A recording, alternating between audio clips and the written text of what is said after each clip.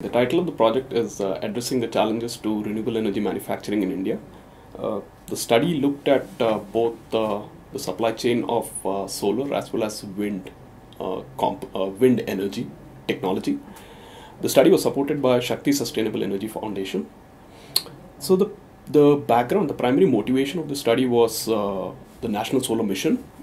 The study culminated with what we finally came out was it is best for India to make three components. Essentially, those were glass, encapsulant, and backsheet.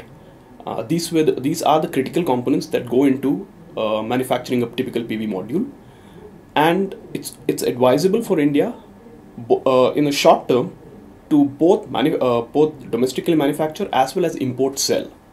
But from a long term perspective, India should emphasize on uh, indigenization of all these components.